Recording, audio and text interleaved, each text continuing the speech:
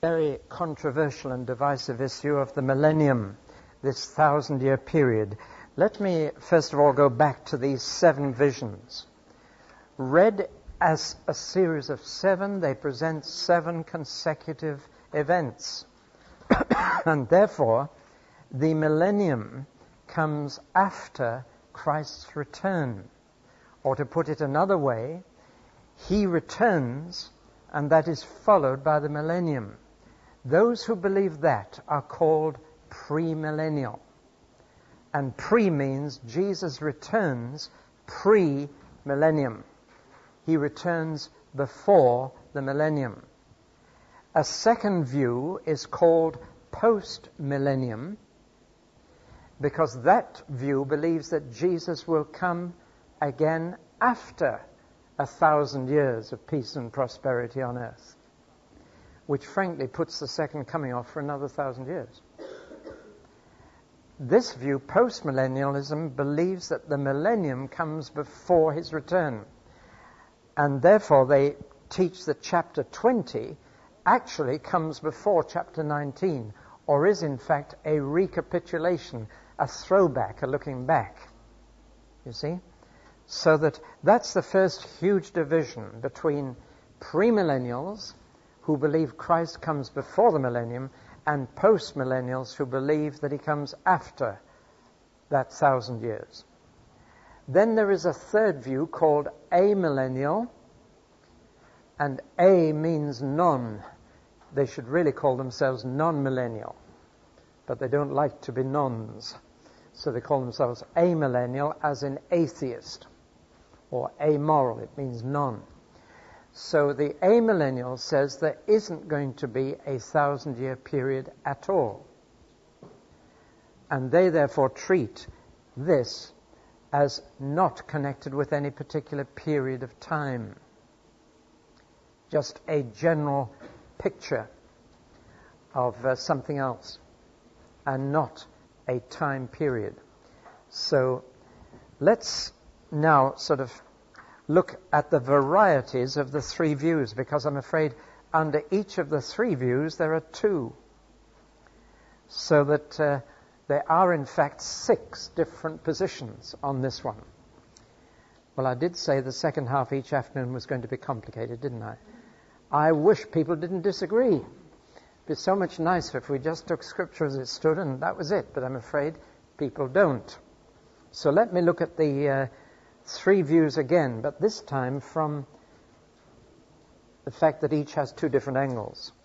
Strictly speaking, the amillennial or the non-millennial who doesn't believe that there ever will be a period of a thousand years of Christ's rule on earth, either before or after his coming, there are two groups there. The first I call the skeptical non-millennials, and they just find the whole idea absurd. And they dismiss this passage of Scripture altogether and just say it's either John was suffering from indigestion or a bad headache or something at this point, but it, it's meaningless. That's the skeptical view that the millennium is meaningless. It has no message for us. And you find a lot of liberal Bible scholars who take that view. They just can't make any sense of it at all.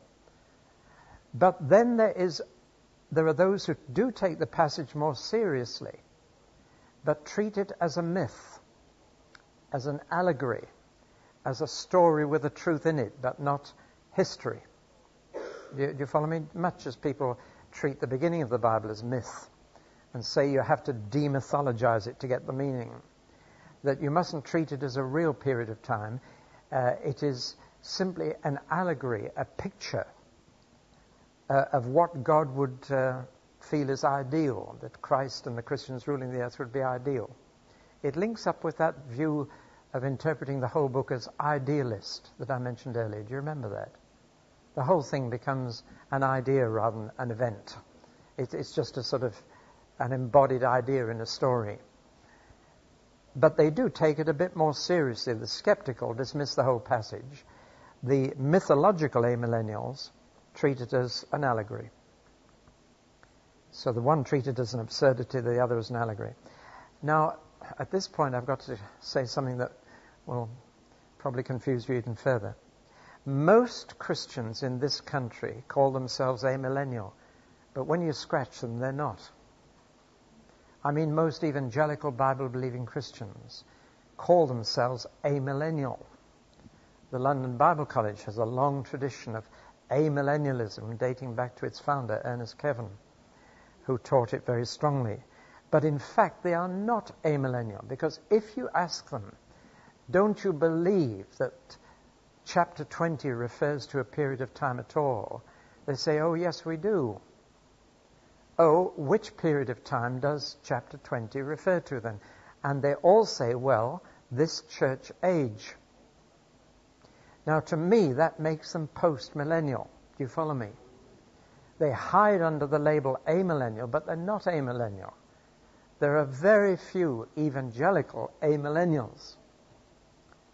They are actually post millennial. They apply chapter 20 to the church age before Jesus gets back. So they do believe it's a period of time. Do you follow me? And I only mention because if you went out of here and you asked a lot of evangelical Christians, which are you? They would nearly all say amillennial, but if you ask them, they're not. But they don't want to be called this. But that's what they actually are. So let's call a spade a spade. An amillennial doesn't apply Revelation 20 to any period of time. A postmillennial applies it to this period of time. A premillennial applies it to the period of time after Christ's coming. Are we clear? So that we can go a little further. Right. The real amillennials are usually in 2a. They're not in that at all. They are really spiritual postmillennials. Now, what do we mean by that? A spiritual postmillennial believes that Christ and Christians are reigning now, but only in a spiritual way. That we can cast out demons and march around cities and so on, but all we can do is um, reign over evil in a spiritual, not a political way. We are not the government, but we are a spiritual government. That Christ is already reigning in heaven the dead saints are already reigning in heaven with him. And in a sense, the church has spiritual authority, so the church can reign over evil now. You follow me? Now, that's what most who call themselves amillennial actually are. They believe we're in the millennium, but that the only reigning that there will be will be spiritual. The other form of postmillennialism is the belief that the church will take over the world and rule it for a thousand years. That in the name of Christ, the church will rule the nations. Uh, not that everybody will be converted, but that the majority will be. And so the nations will become, quote, Christianized nations. And therefore the church will take the throne of this world over before Christ comes back. Now, looking at the world today, we're a long way off that and therefore we're at least a thousand years off the second coming. But it's amazing how many people are believing this, and it's coming over from America under some unusual titles. Reconstructionism. Have you heard that word? Anybody heard that? You have. Well, this is what they believe that the church is going to Christianize the world and take over and rule the world on behalf of Christ before he gets back. Well, how many of you have heard the word restoration? Right. Well, now that's another word for it. And Restoration magazine, before it went bust, had an editorial comment under the title, each issue, which said, We believe that the church will bring the kingdom, sorry, will establish the kingdom worldwide before Christ comes. And the restoration movement of 10 years ago believed that we were going to take the world over many people left mainline denominations and went over to house churches, believing that we were on the verge of taking the world over. And still, some young people of today believe this. You know, we're marching for Jesus, we're going to drive Satan through the Channel Tunnel into France, but we're going to clean England up in the name of Jesus. You know the kind of talk. Uh, I'm caricaturing it, but there's a lot of this naive optimism around that we're going to take the world over in the name of Jesus. I think a bit of realism doubts that. Another name that it's coming over from America under is dominion theology. Any of you heard that? Well, restoration, reconstruction, dominion all believe that the church will take over the world and that the last part of the church age will be the millennium, after which Jesus gets back. So there's the spiritual postmillennialism that says that spiritually we're in the millennium now, and there's the political version that says we will soon be taking the world over and running it. Then the premillennial has two versions. One is our old friend dispensationalism, which I talked about last time. And uh, you would know what I'm going to say now from last time's talk. That the dispensational premillennial, you find most of these among the brethren and who've read the Scofield Bible, believes that the millennium is after Christ's coming, but is largely concerned with Israel and the Jews on earth. And it's not at all clear where the Christians will be. Whereas the classical premillennialism of the first five centuries of the church believed that the church will be ru- ruling the earth with Christ, but that the Jews will by then be part of the church. Now, those are the six views. It's very complex, isn't it? And unfortunately, you'll find all these views in books on Revelation. Now, I think you can guess which I am. 3b. 3b. I believe it's the most straightforward reading of Scripture. Now, let's try and find out which each of you are, if anything. And maybe all this is new to you. But let's try and do it with a simple chart. Right. Now then, question number one. Will there be a period of a thousand years during which Christ rules on this earth? You answer yes or no. Now, supposing you say no, then you are an amillennial. You don't believe there will be a millennium right? You're non millennial. So you then ask a further question Does this passage in Revelation 20 have any meaning or not? And if you say no, it has no meaning, you are a skeptical a amillennial. But if you say it has some meaning, not for history, but it, it has a truth in it, which can be applied at any time, then you are a mythological a amillennial. But supposing you said yes to the first question, yes, I believe there will be a period of a thousand years within the history of this earth, you then ask the question, well, do you believe it will be before or after Christ's return? And if you say after, you are a premillennial. Christ comes before the millennium, premillennial. If you say it is before he comes, then you are a postmillennial.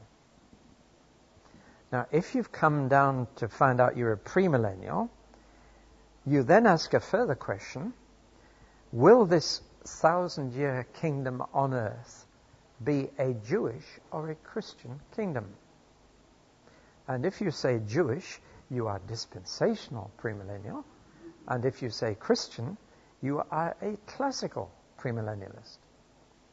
But if, on the other hand, you said, no, this thousand years will be before Christ comes, you then ask, does it refer to the whole of the church age, even though it's now lasted 2,000 years? Is, is a thousand years a round term for the whole age? And therefore, the rule of Christ is not political, but it's spiritual. You are a spiritual postmillennial. But if you believe the millennium will be the last part of the church age when the church politically takes over the world and establishes Christendom worldwide, then you are a political post-millennialist. Now, I've tried to put that as simply as I possibly can, though it's very complex, but you'll find all these shades of opinion among Christians. Now, could I ask, you're not committing yourself to anything, but how many now know what they are. Well, that's encouraging. Some of you do. The rest of you probably have never even thought about it or have not been aware that there is such a division among Christians about all this. But anyway, that's the way to tell. And if you meet somebody who says, I'm an amillennial, just say, Are you sure? and just check it out with this. I think you'll find most who call themselves amillennial are in fact spiritual postmillennialists. Right. Well, now, those are the different views. Just a word about the history of those views.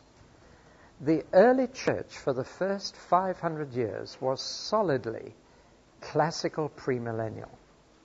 That's why we call it classical. They looked forward to what they called the bodily reign of Christ on earth. And about 30 or 40 writers in the first 500 years all look forward to a day when Christ will come and reign on this earth with the saints. And the interesting thing is that for the first 500 years, there is no trace of any other view. So, when did all these other views start?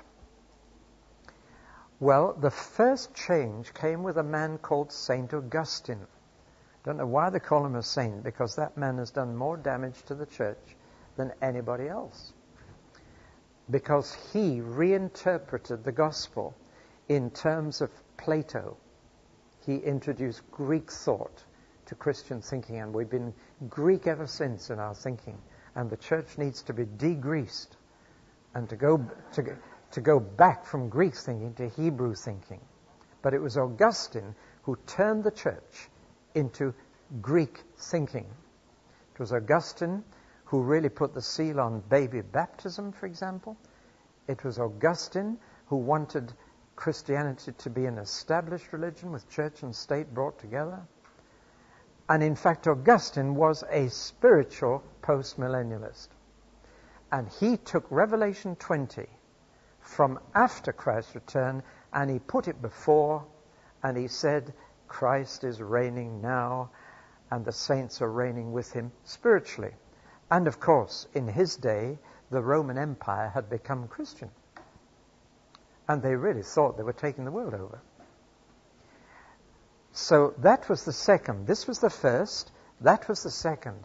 But you can imagine, as during the Middle Ages the church and the state became one kingdom called Christendom, it moved through to this and became political post-millennialism. And they really thought they were in the millennium with the Holy Roman Empire, Emperor and the Pope running everything.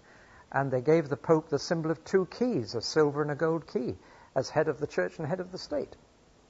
Political and religious power came together. So by making the millennium a spiritual thing, this is what Augustine did with so much in the Bible. He spiritualized it, allegorized it, and he took away the reality of it the Hebrew reality of so much, he spiritualized it all. He saw the church as the New Jerusalem. See? He brought it all into the present. Read his book, The City of God. So that this was the first, that was the second, which led to this. The next to appear was the dispensational view, which appeared in 1830. And most people think all premillennials are dispensational. That's the confusion I'm into all the time. People say to me, What are you? I say, I'm premillennial. They say, Oh, you're a dispensationalist. I say, No, I'm not. I'm premillennial as the early church was. I believe the church will be reigning with Christ on earth. And that the Jews will by then have accepted Christ and be part one with us that when they see him whom they pierce, they will be converted. So we've established this historically. This, of course, came with liberal critical scholarship at the end of the 19th century from Germany. And liberal interpretations of Scripture came sweeping in, and you'll find that most liberals today are one or the other of those two. So, one, two, three, four, 5, 6 is the order in which they appeared. I'm happy to tell you that there is a notable swing back today to classical premillennialism. And I give you one or two names. Hal Lindsey, of course, is here, but I give you one name here George Eldon Ladd. G. E. Ladd, L A D D. Any books by him are tremendous books. And he led the way back to this. Another name is Merrill Tenney, T E N N E Y. Do any of these names mean anything to you? Is there a library in the college? Well, look up any books by Ladd or Tenney, and you'll find uh, they are calling the church back to classic premillennial. Uh, I just have to say that I came not through either of them, but through just sheer study of the Bible. I came to this view 25 years ago and have stayed with it since. I find it very encouraging that there is such a swing now back to this to reconsider it. And uh, among others, people like Tony Higton in this country are now preaching classical premillennialism. Well, you must make up your own mind. Um, people say, well, why argue about all this? I want to show you in a moment that it has very practical implications. But let me begin by showing you how the different views actually interpret Revelation 20. Because that to me is the key. How they handle Revelation chapter 20. I'm only going to look at the postmillennial and the premillennial because those are the only two views really held by evangelical Bible believing scholars. If you put the millennium before Christ's return, how do you then interpret Revelation 20? And I'm really saying, which is fairer to Scripture? Revelation, the postmillennial interpretation of Revelation, or the premillennial? And i am looking at both, the spiritual and the political.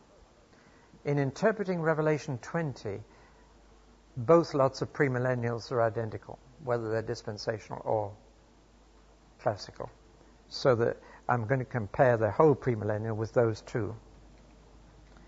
The thousand years, the spiritual postmillennialist says that's a symbolic figure.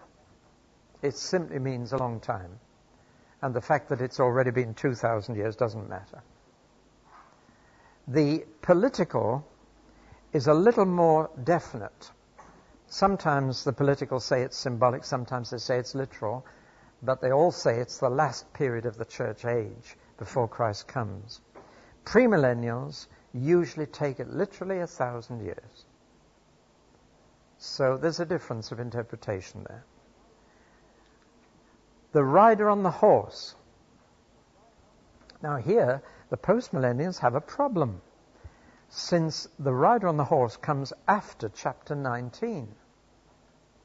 Sorry, the millennium comes after the rider on the horse. So, what do the postmillennials make of that? Well, they say if chapter 20 is in fact a sequel to chapter 19, then the rider on the white horse must be Christ coming at his first coming. And the white horse is spiritual. Get it? Wasn't a real horse at all. It was actually a donkey, but spiritually it was a white horse. Do you follow me? Now, I mean, it begins to me to get ridiculous at this point. Those who accept that 20 is a sequel to 19, that it's part of the series of seven visions, they apply that rider on the white horse to the first advent of Christ, and therefore spiritualize it. But more postmillennials treat chapter 20 as a recapitulation. They say 19 is the second coming, but then the vision goes back 2,000 years to the millennium that began with his first coming. You follow me? So either way, I think they're messing up the scripture. The premillens all apply to the second advent. Because if chapter 19, the rider on the white horse, is the first coming, then there is no mention of the second coming in the whole of the text of Revelation, apart from the prologue and the epilogue. And to cut the second coming out of the book of Revelation is amazing, isn't it? To apply it to the first advent. Now, let's take binding of Satan. I think I'm going to begin over here and work backwards. The premillennial says that he is bound in the future by an angel and he is totally limited and can do nothing. All those six verbs, you remember? Seized, chained, thrown, imprisoned, sealed, locked, all of it. And the premillennial takes that as meaning that G- devil is Satan is banished altogether from the world for the thousand years, and it's done by an angel. But you find the post-millennials can't cope with that because if you try and apply that to the present,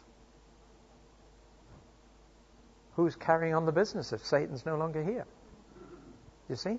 Got a problem. So how do they get around it? Well, they say that Jesus bound Satan when he was here the first time. It's not an angel binding Satan now, they just forget that. They say Jesus talked about you have to bind a strong man before you can spoil his goods. Therefore, Jesus bound Satan, but the binding was only partly effective. And he's still quite active. Now, to me, that is just twisting scripture. How can Satan be seized, chained, thrown into dungeon, sealed and locked, and only be partly limited? That's the way they get round it. The political postmillennialists would say that the binding of Satan is something to be done by the church, and I'm sure you've heard people binding Satan before a meeting. And have you heard all this kind of thing? Never find that in the New Testament. But it's become quite a, a common form of prayer. I, I'm hearing it everywhere I go. We bind Satan in the name of Jesus for this meeting. I wonder where we started that. It's all part of this post-millennial thing that came in. So Satan is bound by the church in the present, and he can be severely limited by that and will be, but not entirely. So, which of these three is being truer to that? I ask you to ask all the way down. Who is being truest to Scripture? It says an angel binds him totally. But here in the present, it's the church binding him severely, or Christ binding him only partly in the past. Which is truer to Scripture? Let's take the first and second resurrection. The premillennial takes them both as physical. How can you have a first and second if they're not the same thing? They are both bodily resurrections. In fact, the same verb is used of both. They come to life, and the rest of the dead do not come to life until the end. Now, how do the postmillennials handle that? Well, they make the first resurrection spiritual that that happens at your conversion, and the second resurrection physical at the end of history. You see, for the postmillennial, there is only one resurrection of the body for everybody at the same day. And therefore, the first resurrection becomes a spiritual one, a resurrection of the soul than the body when you're converted. they all get round it that way, which is truer to Scripture. The loosing of Satan, the premillennial said that's at the end of the millennium. The postmillennial says it's at the end of the church age. They have a very different attitude to the restoration of Israel.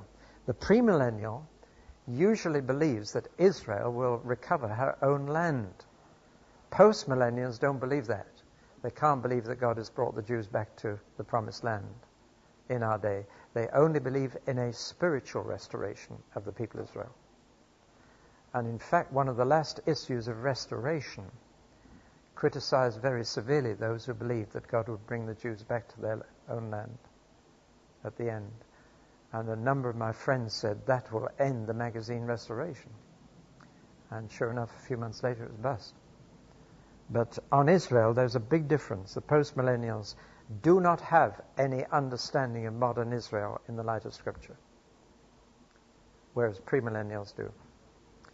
The reign of Christ, the premillennial, says it will be on earth because the whole of chapter 20 is on earth, whereas the postmillennials either say it's the reign of Christ and dead saints in heaven, or spiritually through the church on earth. But it's not an earthly reign. Now, here comes an interesting difference. Of these views, which has the strongest emphasis on the return of Christ? The answer is the premillennial. You'll find that a premillennial view goes along with preaching the second coming strongly. The political postmillennial preaches it quite weakly. They are the weakest on the second coming because, after all, it must be at least a thousand years ahead. The postmillennial spiritual, medium. Sometimes they mention it, sometimes they don't. It has quite a direct effect. And if you ask, when a Christian prays every day, as Jesus taught us, Your kingdom come on earth as it is in heaven, do we expect that to happen suddenly or gradually? The postmillennial expects it to happen gradually over the centuries. The premillennial expects it to happen suddenly when Christ comes. Well, now I only ask, do you think that column or those two are not twisting Scripture? That's the real issue to me. And I believe that these are deliberately squeezing Scripture into a previous decision they've made that it applies now and not future. But let's face the question how are we doing for time? Let's face the question very straight. What does it matter? Now, there are many people today who say it doesn't matter which you are.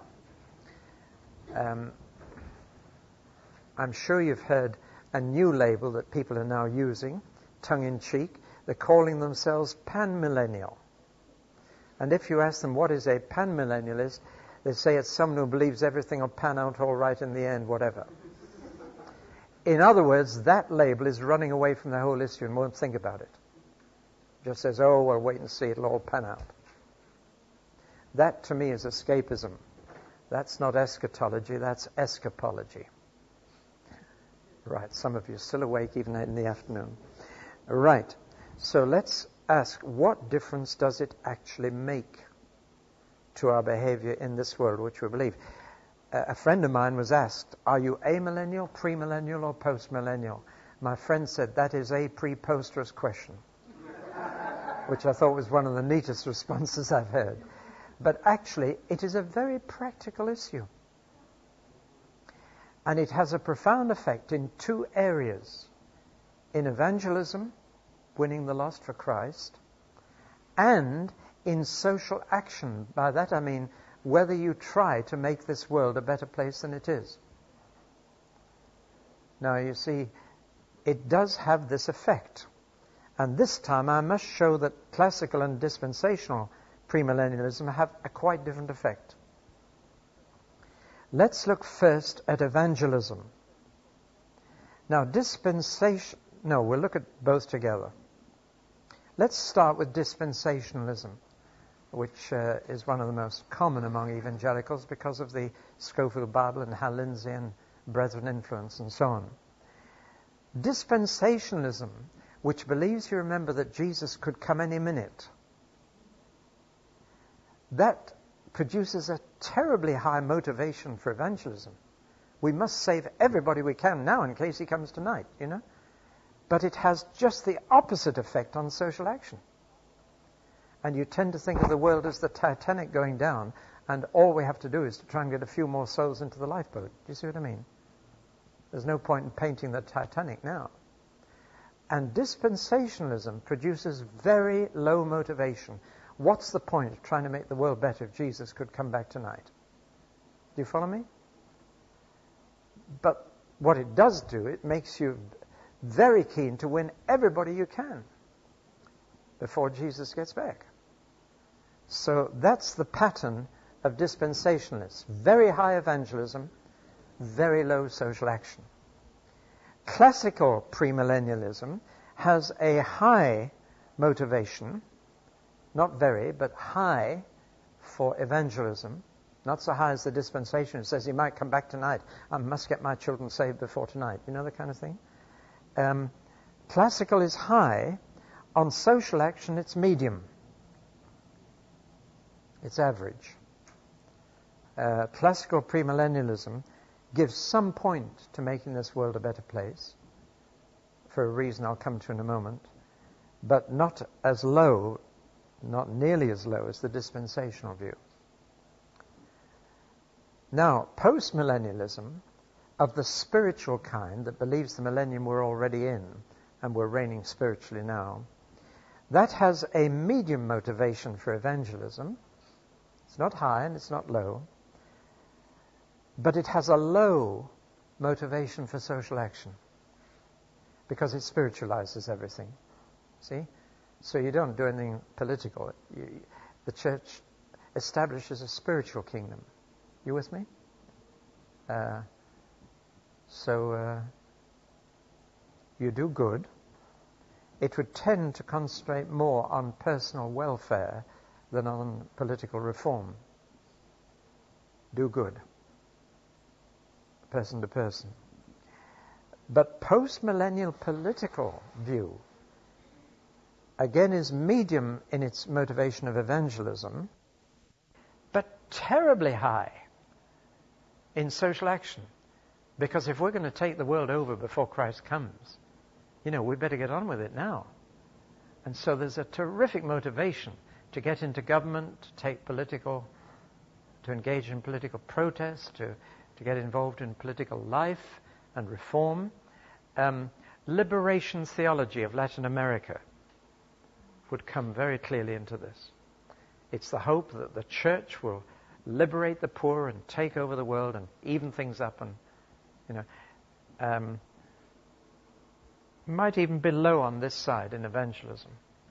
But uh, now you can see there, I've, it's an oversimplification, but it's my observation that the views you hold about the future do have a profound effect on your attitude to the present. It's not an academic issue. And uh, that's where I would want to be, quite frankly. But that's how I've observed and as I've talked to people. And I find the Reconstructionists, the Dominion theology, the Restoration were very, very high here on taking social action. Medium to low on evangelism. And we've seen a swing in this country recently from evangelism to social action. Let me spell it out. There's been a huge swing of money from missions to relief. Things like Tearfund and Christian Aid and so on have been going ahead by the million, whereas missions to evangelize are crying out for money and are often in real crisis.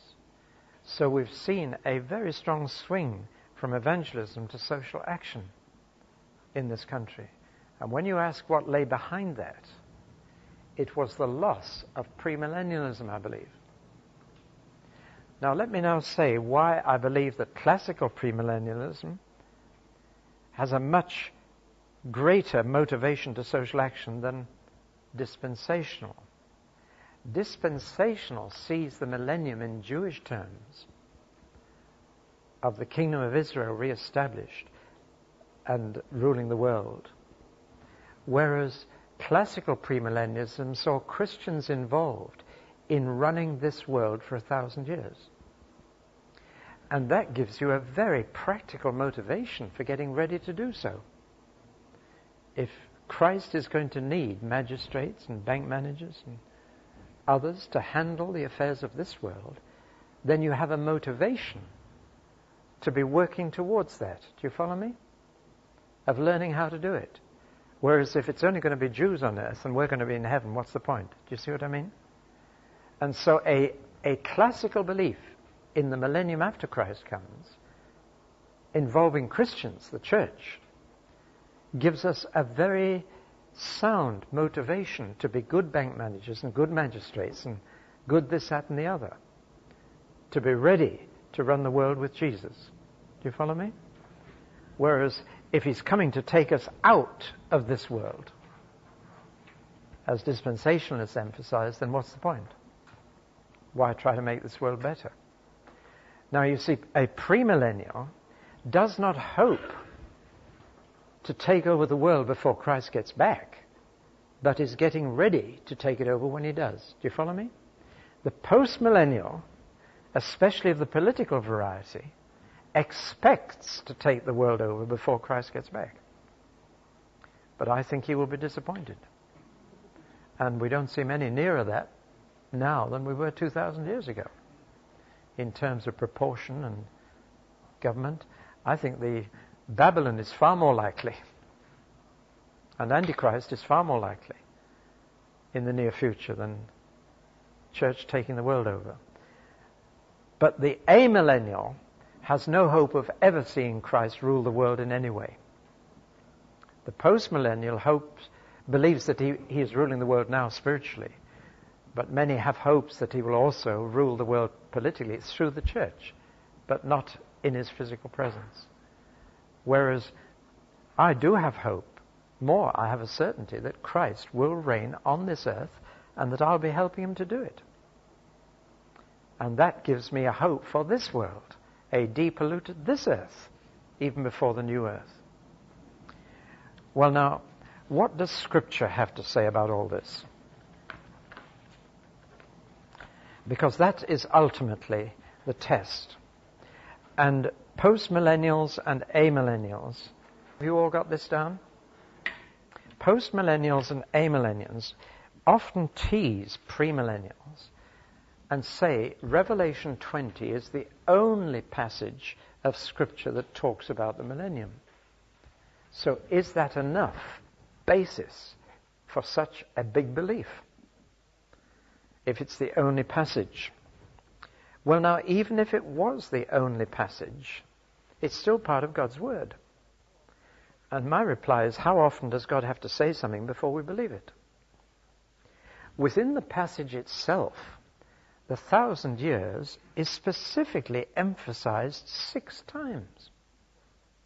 It isn't as if it's just once mentioned.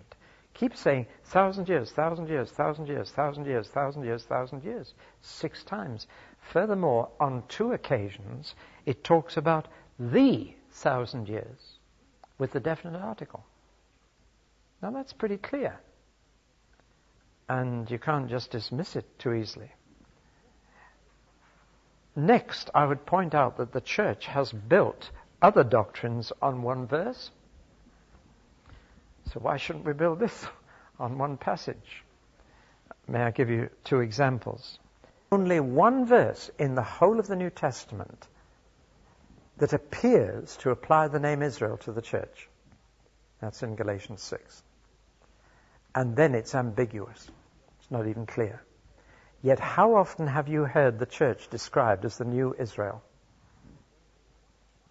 And there's only one possible verse in Scripture that does that. The word Israel is, a, is used 74 times in the New Testament, and only on one occasion could it possibly be applied to the church. Yet the church has built the doctrine of the church as the new Israel on one ambiguous verse. So what's wrong with building it on Revelation 20. Another example, the church absolutely insists that you are baptized in the name of the Trinity. That without the Trinitarian formula, it isn't a Christian baptism. Uh, have you come across this? I baptize you in the name of the Father, the Son, and the Holy Spirit. Every baptism in the book of Acts was only in the name of Jesus. They were baptized into the name of Jesus. There's only one verse in the whole New Testament that talks about baptism in the name of the Father, Son, and Holy Spirit in Matthew 28. All the other verses, and there are many, only talk about being baptized into the name of Jesus. Yet the whole church has built on one verse a whole doctrine that baptism isn't baptism if it hasn't been the name of the Trinity, which I don't believe. And in fact, there's a kind of movement among some Pentecostals called the Jesus only movement. Have you heard that? And they believe you're not baptized properly if you've been baptized in the name of the Father, the Son, and the Holy Spirit. It has to be Jesus. So I pleased everybody. I used to say, in the name of the Father, the Son, and the Holy Spirit, I baptize you into the name of Jesus, into his death, burial, and resurrection. And that kept everybody happy. But I don't believe that it's got to be the right formula to make it work. that seems to me to be getting into legalism. But I'm just giving you examples of where the whole church is building doctrine on one verse. And yet here is a whole passage which mentions six times the thousand years. Why can't we believe it? Well, there can be two other objections to building a belief in the millennium on one passage. One argument is negative and the other is positive. The negative argument is the absence of confirmation that there are no other scriptures saying it. The absence of confirmation. That's a negative. And the positive argument is the presence of contradiction. That other scriptures actually rule out the idea of a millennium. Now, those are the two further arguments. First argument is it's only in one passage, as if therefore you can ignore it. Second, second argument, there are no other passages that mention it. Third argument, there are other passages that contradict it. Are you with me so far? So this is why there's been all the argument about it. Well, let's look first at the absence of confirmation. Certainly, Revelation 20 is the clearest passage. But it is not by any means the only passage that indicates there will be a reign of Christ on earth. What about the rest of Revelation? There are at least three places where the millennium is mentioned in the rest of Revelation, for a start. Chapter 2, verses 26 to 27 says that overcomers will rule the nations. My question is when? Overcomers will rule the nations. And yet overcomers may be martyred. So when will they rule the nations? must be in the millennium, after Christ raises them from the dead. Chapter 5, verse 10 says that Christ has redeemed with his own blood from every kindred and tribe and tongue and people men for God. And they shall reign on the earth redeemed people will reign on the earth. They shall. Not they do, they shall. When? The only answer can be the millennium. Or chapter 11, verse 15. The, John hears a song being sung, Hallelujah. The kingdoms of the world have become the kingdom of our God and of his Christ. When? I don't believe that's happened yet, do you? But it's going to happen. It's promised. So in the rest of Revelation, there's plenty of indication about the millennium. It's not confined to Revelation 20. Now, what about Paul's letters? Let's take 1 Corinthians, for example. 1 Corinthians 6:3. Paul is saying to the believers at Corinth, I hear that some of you are going to court and suing other Christians in a pagan court. He says, How dare you? Don't you know that the saints will judge the world? And if you are to judge the world, are you not competent to judge trivial cases of your own? Now, when will the saints be the magistrates and judge the world? He's saying, How dare you go to pagan courts when you are going to be running the courts? You ought to learn to settle issues within the church because you're going to settle them for the world. And incidentally, when he says, Don't you know that the saints will judge the world? he assumes they've been taught that. That it's part of his teaching when he first founded the church. That you're going to judge the world. That that's the kingdom that's going to come. He's certainly not talking about the day of judgment, which will be in the hands of the Lord alone. 1 Corinthians 15, verses 23 to 25. the chapter on the resurrection. And he says, each will be raised in the right order. Christ the firstfruits, then at his coming those who are his, and then comes the end when he delivers the kingdom to the Father. There are two thens. Do you notice, therefore, there are three stages of resurrection Christ, then it is coming, those who belong to him, then the end, the general resurrection. So that there are three resurrections actually. Christ is the first. And then there are two others. Those at his coming who belong to him, and then the others. Again, it backs up Revelation 20. Now, I've already mentioned this unusual phrase, the out resurrection out of the dead, which is used in Philippians 3:11. It is also used in 1 Peter 1:3. And it's talking about a resurrection of believers before the dead are raised, out from among the dead. So here we have clear recognition that there isn't one day of resurrection for everybody, but two. Again, it backs up Revelation 20. Are you still with me? Some of you are frowning, and I don't like people looking like that. are you with me? Right. Did I just tell you 1 Peter 1 3? Use the same thing. Let's come to the Gospels mainly Matthew and then Luke.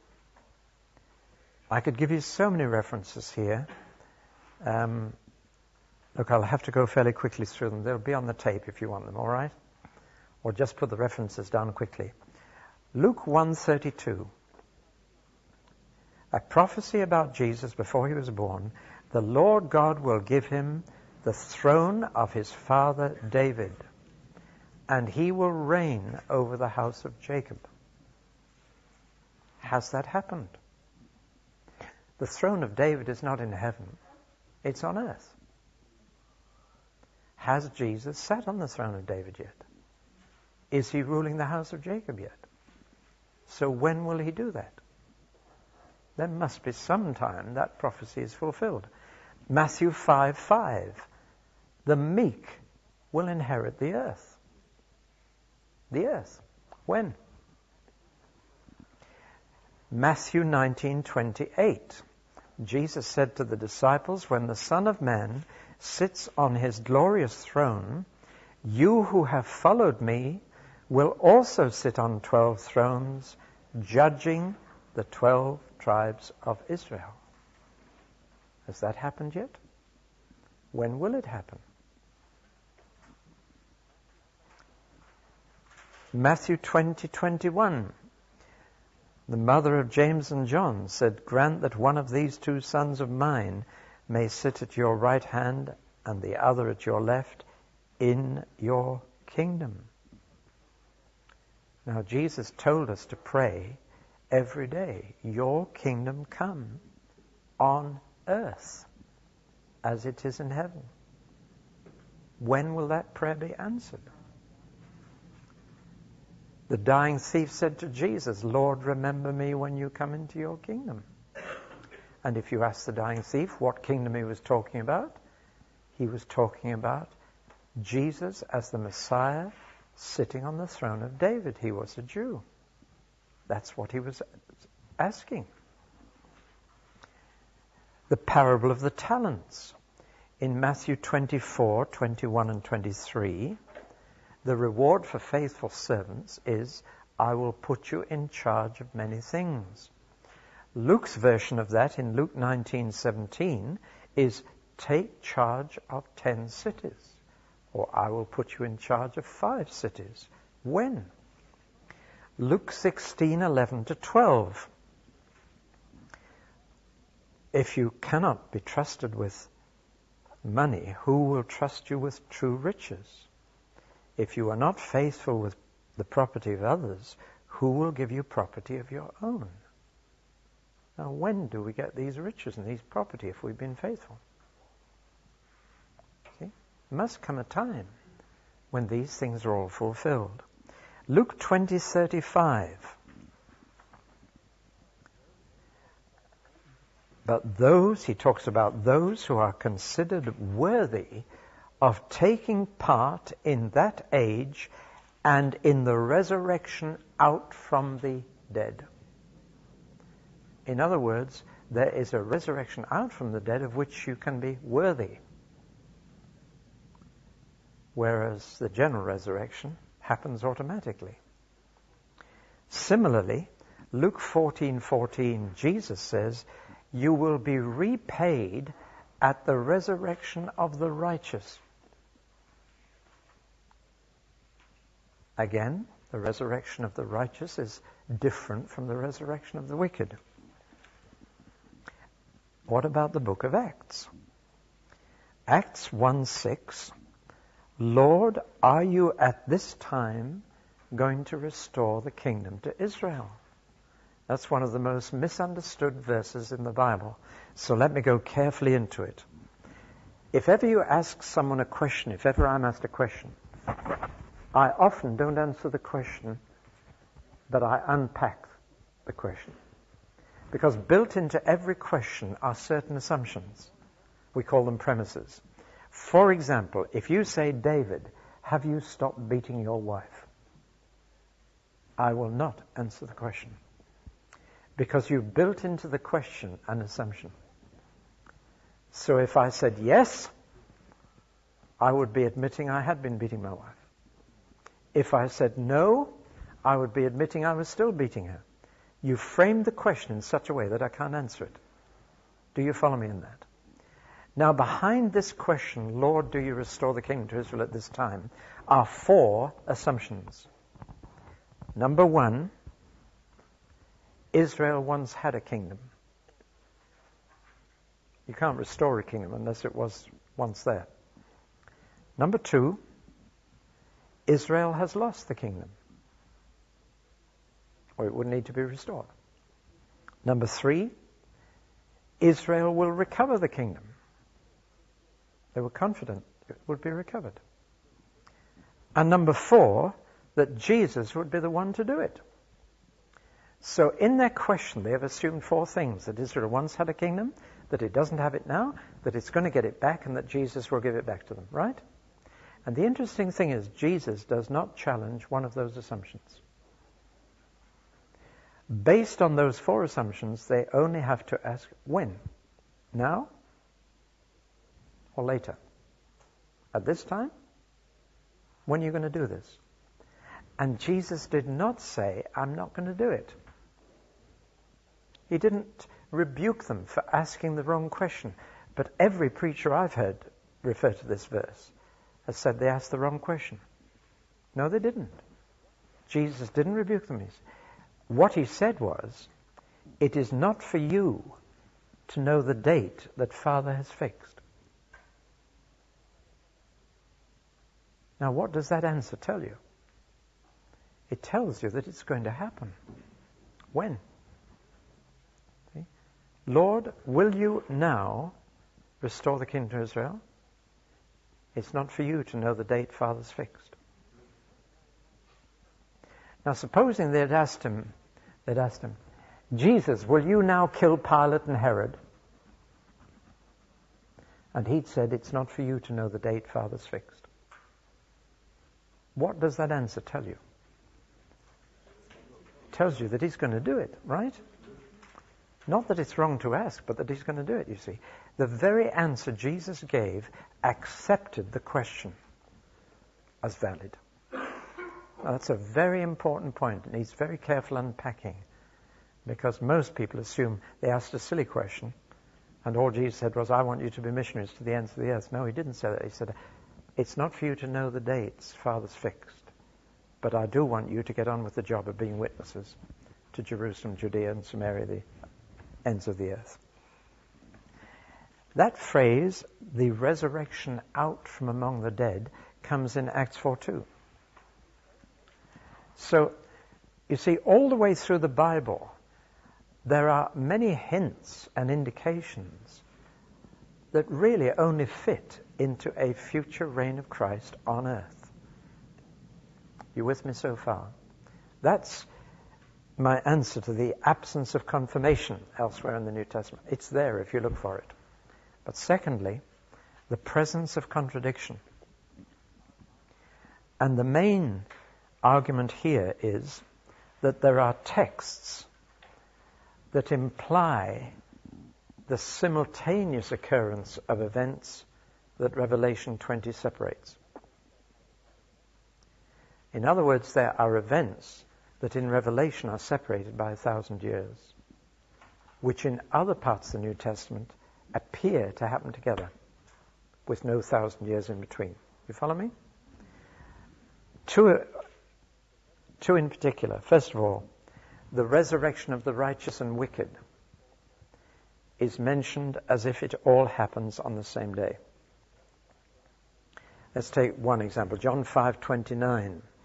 Jesus said, "A time is coming when all who are in their graves will hear his voice and come out. Those who have done good will rise to live, and those who have done evil will rise to be condemned." Now that sounds as if the resurrection of the righteous and wicked are the same event. Do you follow me?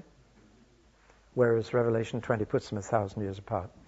Or verse 25 of the same chapter, a time is coming and has now come when the dead will hear the voice of the Son of God and those who hear will live. Well, now, I believe that that can be spiritualized, but it is also true that Lazarus and Jairus' daughter heard the voice of the Son of God and came back from the grave. I don't believe that verse is a reference to the end times. But it's often quoted that. But verse 29 is. And it looks as if the two resurrections are together. The next two things that appear to come together elsewhere are Matthew 25, uh, 31 onwards, the sheep and the goats parable. It says, When the Son of Man comes, he will separate the people. Put the sheep on his right and the goats on his left. As if it all happens together. At his coming. You see, here the coming and the last judgment have been put together. When the Son of Man comes, he will judge, separate. and there are other texts, for example, 2 Thessalonians 1 7 God's vengeance against persecutors will happen when the Lord Jesus is revealed from heaven. Which again looks as if the judgment and the second coming happen together. Do you follow me? Now, it's on the basis of those apparent contradictions that um, the postmillennials say that there is no millennium after Christ's coming. The third thing that they point to is the phrase, the day of the Lord, which covers the second coming and the last judgment. And the same phrase is used for both, the day of the Lord. And if you take the word day with anything like a literal sense of 24 hours, it means the coming, second coming and the day of judgment happen on the same day. But I believe the word day of the Lord there is being used far more generally in the sense that man has had his day and God will have his. And the day of the Lord covers quite a period actually. Um, and if you read the phrase the day of the Lord in the Old Testament, it covers a lot of events. It's the day when God puts things right, rather than the 24 hour period, as many take it. Now, what do we say about those others? the resurrection of the righteous and wicked appearing to be together, and the second coming in the day of judgment appearing to be together. Oh, my time has gone so quickly. well, we are here dealing with prophecy, predictions about the future. And one of the characteristics of prophecy in the Bible is what we call prophetic foreshortening. As if the prophets look through a telescope into the future and see events squeezed together through a telescope, as if you were looking at mountains from a long way away through a telescope, and you see two peaks that look together. But if you went to them, you'd find there's a big valley in between. And you find this telescoping happening uh, constantly in all predictions about the future. They see things as so close that they can't see the gaps in between them. For example, the Old Testament only sees one coming of the Messiah. But we now know that between his first and his second coming is a huge gap of at least 2,000 years. But looking ahead through the centuries, they saw the two comings together. And they spoke of only one coming, both to save and to judge. We now know that he was coming first to save as the suffering servant, and second time to reign as the King of Kings. But they saw him coming as Savior and King together. And that is why, of course, they didn't recognize Jesus as the Messiah, because he didn't come to rule. But he will do at his second coming. Now, this foreshortening of future events is characteristic of prophetic vision. And they see future events together. And so they could see both resurrections as the resurrection of everybody. The first and second coming is the coming of the Lord. And in fact, this happens with many other prophetic uh, visions that later in the Bible they get separated in time. Do you follow me? Things that are seen together actually take place at different times. And I'm sure that's what has been happening in both these cases. I mean, when you're looking forward through 2,000 years, it looks as if the second coming and the day of judgment are right together. But later it is explained they are not together. It looks as if the dead all rise at the same time, righteous and wicked. But when you get closer to the events, as you do in Revelation, you see that in fact they are separated by some time. This explains Jesus' parable of the rich man who died, and it says he was in Hades suffering the fires of hell. Now that's a contradiction, isn't it? Because Hades is where people go after they die, not hell. And the fire follows the day of judgment, which is still future. But Jesus telescoped the two to get across his point in a parable. He was not trying to teach a complete program of the future events. He wanted people to realize that the state of that rich man beyond death was much worse than here.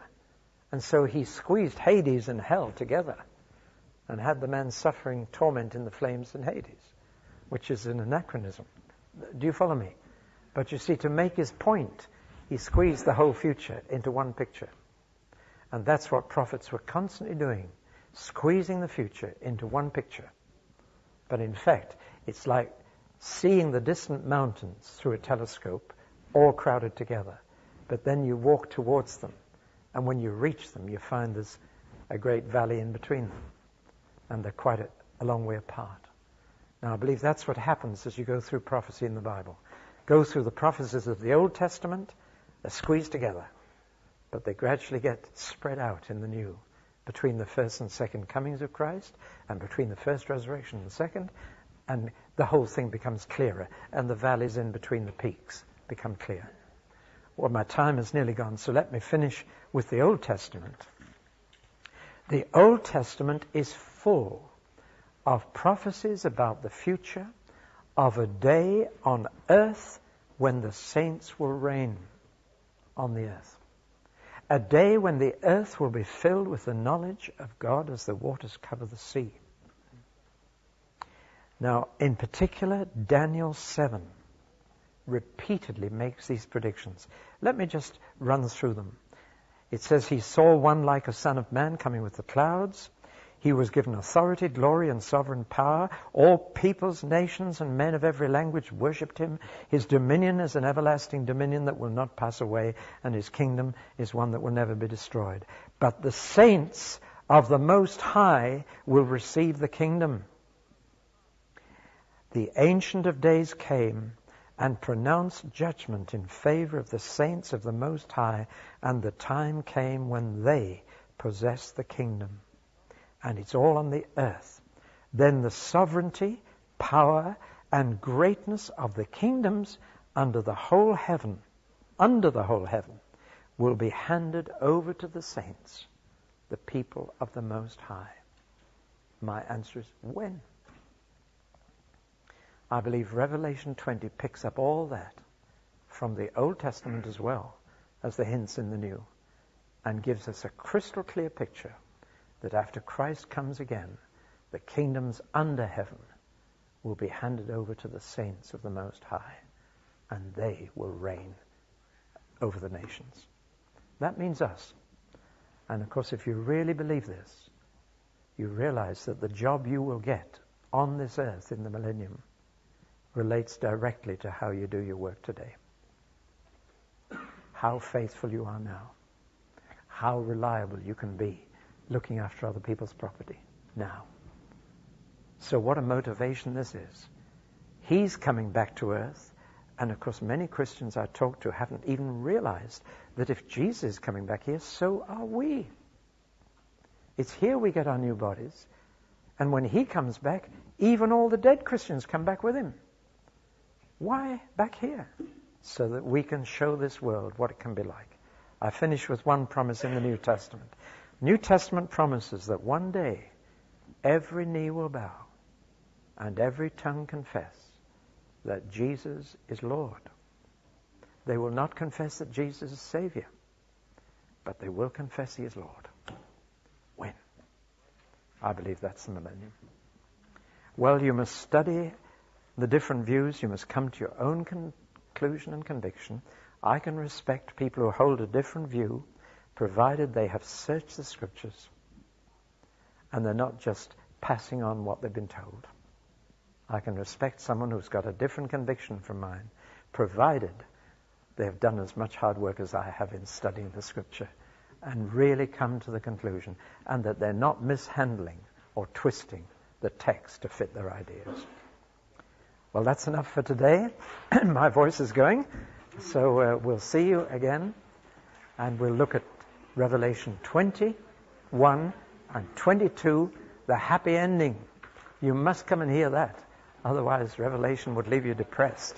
I want to leave you rejoicing. Good.